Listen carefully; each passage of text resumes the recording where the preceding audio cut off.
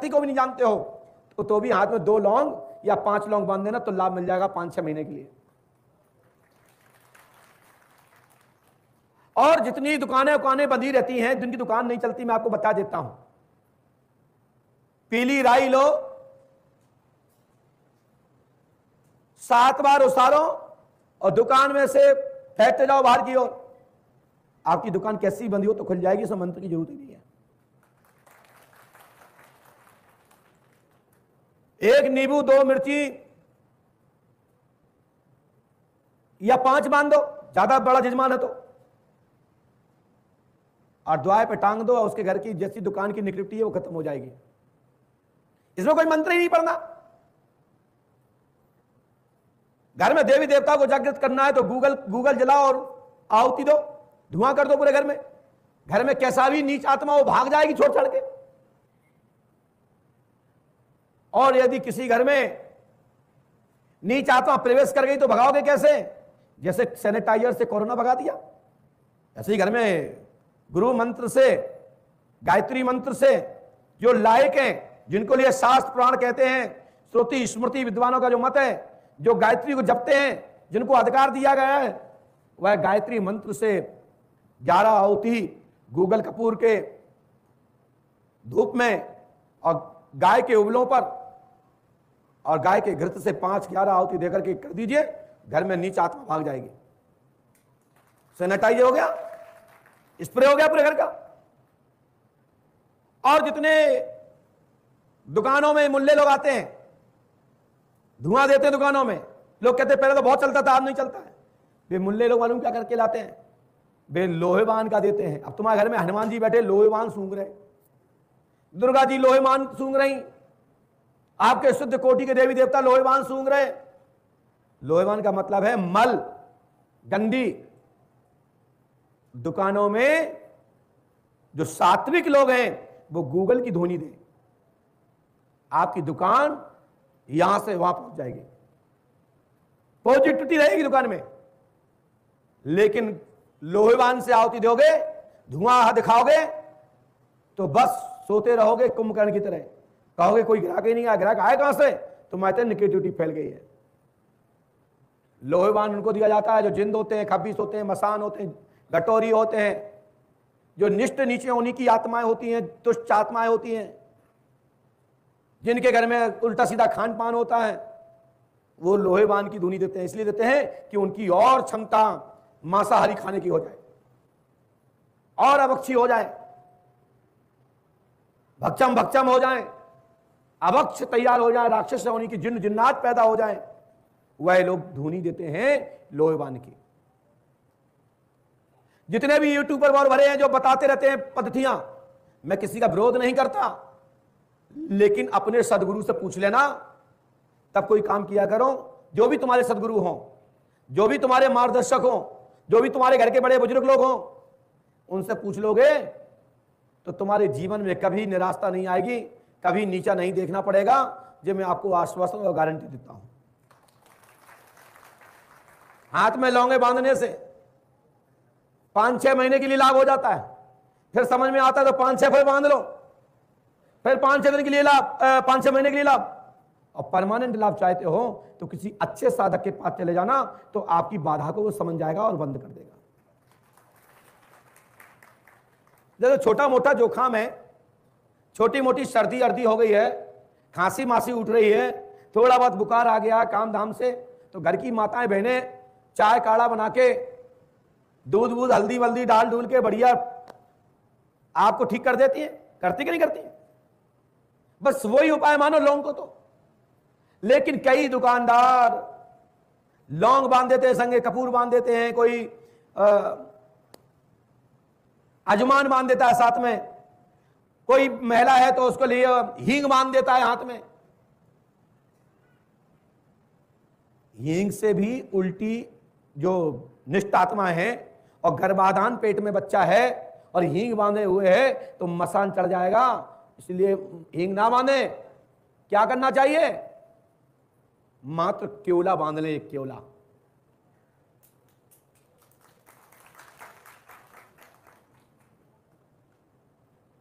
हमारी माताएँ बहुत अच्छी जानती हैं। जब बच्चा पेट में होता है तो बिटियाओं से कह देती है, एक चाकू रख लो अपने पास। सबसे अच्छा उपाय है ये। इसको कोई नहीं काट सकता। माचिस की डिब्बी रख लो अपने पास।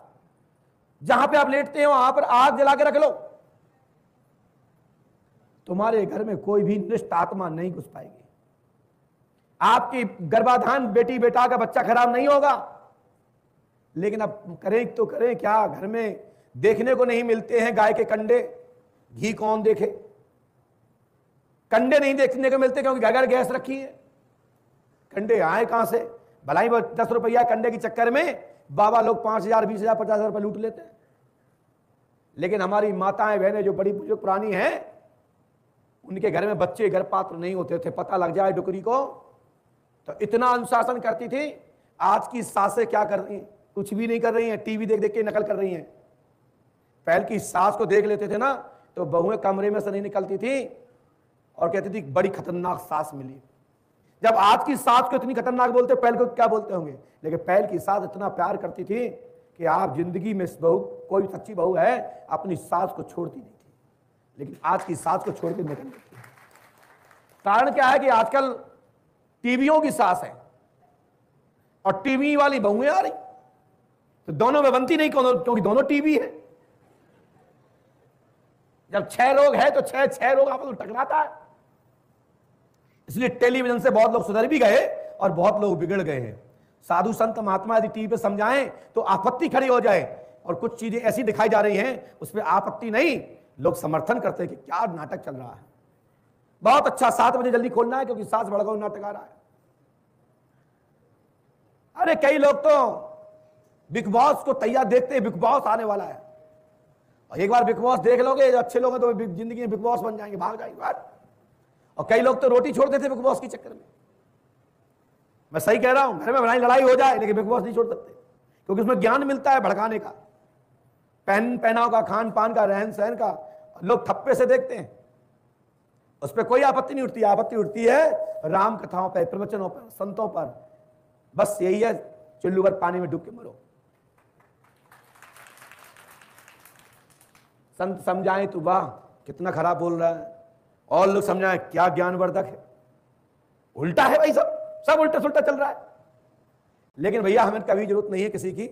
हम तो सेल पे हैं, उन्नीस सौ निन्यानवे से चल रहे हैं, चलते रहेंगे, कोई रोकने वाला नहीं जन्मा कि मुझे रोक के दिखा दे। पांडोकर सरकार पूरे विश्व के लिए शोध का केंद्र है। और अपना अध्यात्म की ध्वजा लहराता रहूँगा और सत्य बोलता रहूँगा, छोड़ूँगा किसी को भी नहीं, दुनिया का कोई व्यक्ति आ जाए। लोगों को डर रहता है कि पंडुकर सरकार के सामने जा रहे हैं, हाथ पैर कांपते हैं। अच्छे अच्छे लोग मौन हो जाते हैं पंडुकर सरकार के दरबार को देखते ही। बस यही तो पंडोकर सरकार के दरबार की शक्ति है। चलते हैं दरबार की ओर। बोलिए, पंडोकर सरकार की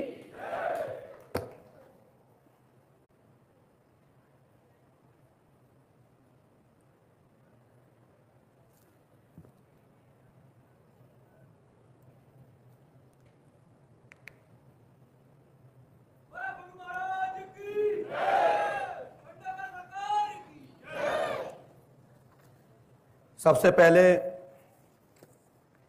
एक पूर्वत पर्चा है। पूर्वत माने पहले मिल चुका है। कुछ दिक्कत हुई है। मुकेश गुप्ता जी के यहाँ से लौटाया गया था। हमारे पास दोपहर में आए थे, शाम काल में। जिनकी पत्नी को पीड़ा है। और पर्चा भी लेके आए थे। तो हमने उनसे कहा कि मैं यहाँ तो नहीं देखूँगा, लेकिन आप दरबार में प्रकट हो जाएँगे तो हम देख लेंगे। विनायक नारायण आ जाइए। डॉक्टर के यहाँ जाते हैं मरीज़ ठीक होते हैं मरीज़ को रोग बढ़ भी जाता है। गुरु के यहाँ जाते हैं रोग ठीक हो जाते हैं। ठीक से उपचार नहीं हो पाता या ध्यान नहीं दिया तो, तो बढ़ भी जाता है। मुझे किसी भी प्रकार से कोई भी इतराज नहीं है। जब मैं माइक से ठोक के बोलता हूँ तो माइक से ठोक के सुनना चाहता हूँ। क्योंकि तो दुनिया के लोगों को भी एकदम सुधार हो जाएगा, रास्ता मिल जाएगा कि कहाँ कमी हुई, कहाँ चूक हुई जिस कारण से दिक्कत है। आइए, जो पढ़े लिखे हैं वो आगे आ जाए, जो कम पढ़े लिखे हैं वो पीछे पहुँच जाए। माता जी सिर पर दुपट्टा डाल लीजिए और पास में आ जाइए। और पास में आइए। माइक उठा लीजिए। इसको इसको ऐसे करिए। कहाँ से आई भैया? हम महाराष्ट्र कोल्हापुर से हैं। महाराष्ट्र कोलार से आई हमारा कोल्हापुर। हमारा पर्चा कहाँ है? भैया जब भी आए तो दस्तावेज़ सहित उपस्थित हो। कानून भी यही कहता है। जब नोटिस मिलता है तो उसमें आता है कि आपको अमुक विषय में बुलाया जा रहा है। दस्तावेज़ सहित इतने बजे उपस्थित हो। तो हमारे पास जब आए थे तो मैंने कहा अपने पर्चे लेके उपस्थित होना। क्योंकि हम बंद कमरा में पढ़ भी लेंगे तो किसने देखा? हमारे हाथ के लिखे हुए पर्चे दीजिए। और पर्चे दीजिए हमारे हाथ के लिखे कहाँ है? एक ही है। पहले सब लोग हमारे पर्चे के ऊपर जाइए, मैंने लिखा क्या है।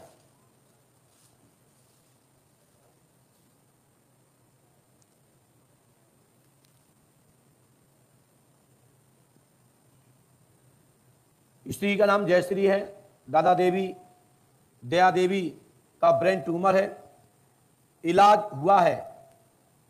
गांठ निकला दिया है, सिर में पीड़ा है, ब्रेन में दिक्कत है, डॉक्टर बीरन, डॉक्टर प्रभु का इलाज चल रहा है।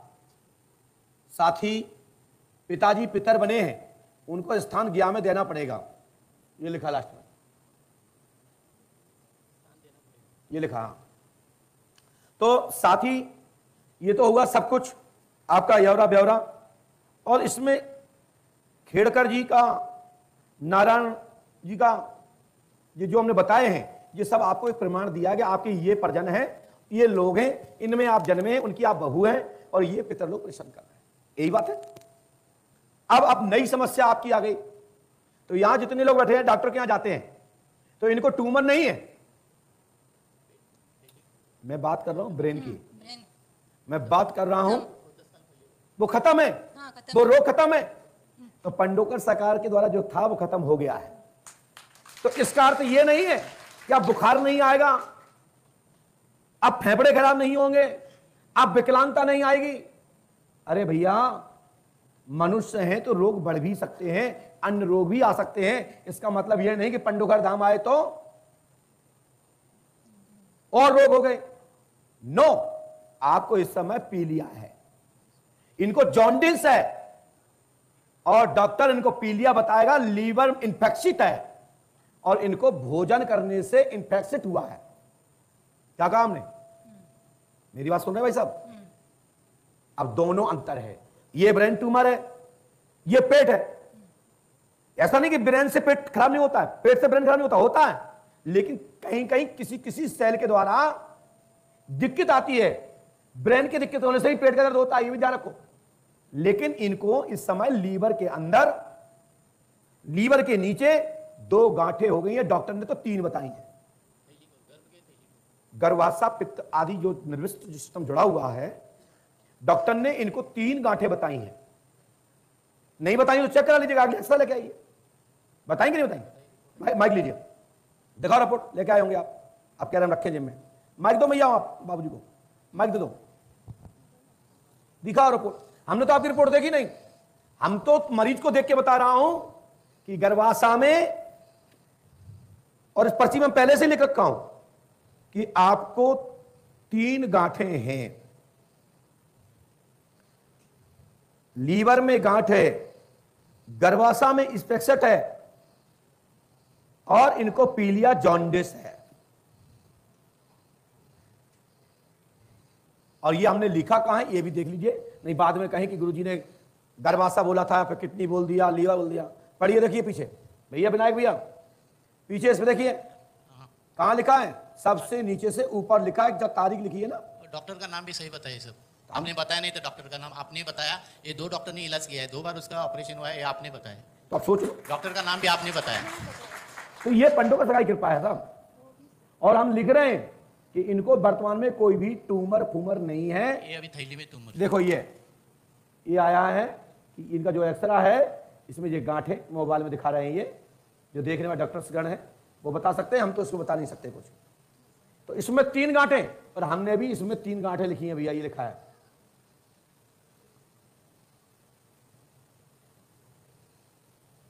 लिखा नहीं लिखा भैया? तो हमारे यहाँ पूछा पांची झांका झोंकी की आवश्यकता नहीं होती है। हमने कह दिया ये बाधा है इसको तत्काल डॉक्टर को दिखाओ नहीं तो ये कैंसर में डेवलप हो जाएगा। अभी इनको कैंसर फैंसर नहीं है। नहीं है। नहीं। नहीं है। बिल्कुल नहीं है। मैं कह रहा हूँ। हमारा क्या वो बताए नहीं है हम बोल तो रहे भाई कैंसर ऐसा नहीं है लेकिन बाद में हो जाएगा कमज़ोरी जैसी आई और वो कैंसर में डेवलप हो जाएगा बदल जाएगा रूपांतर हो जाएगा। आपकी कृपा चाहिए इसके लिए।